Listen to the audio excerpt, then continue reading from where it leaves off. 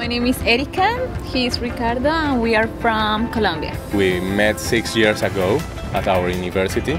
We took French as a, lecture, so I was helping her with the homework, all the study before the exam. We knew each other, we started going out for a coffee, and we are here like six years later.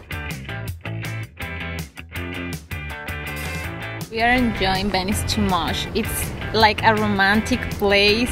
Everything is great, so we are fine here. The hotel is awesome. It's, the atmosphere here is very romantic. We are enjoying the, all the lectures with Susan and Brandon.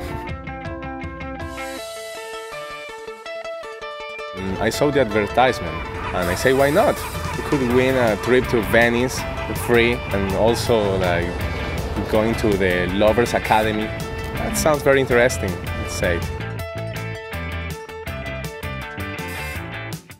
No, we haven't had that moment. It's always great with great sex.